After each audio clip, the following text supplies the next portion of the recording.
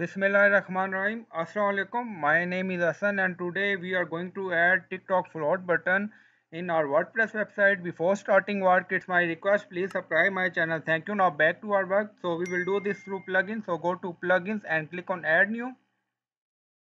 And in search plugin, write Chaty. And float chat widget. So we will use this plugin. So click on install now. And then click on activate it.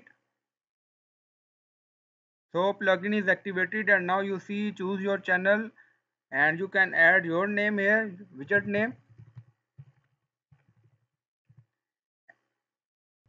And step one choose your channel. So you can deselect first and then choose your channel tiktok. So you can select maximum two channel from here.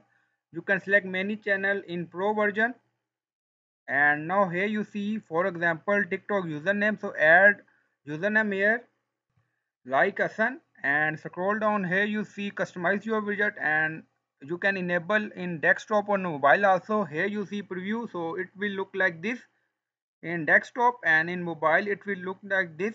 So customize your widget. This is second step. And you can select position left or right. And you can remove this text or add your text here. Call to action and now you see annotation effect so you can uh, select effect according to your requirement and pending message if you want you can enable.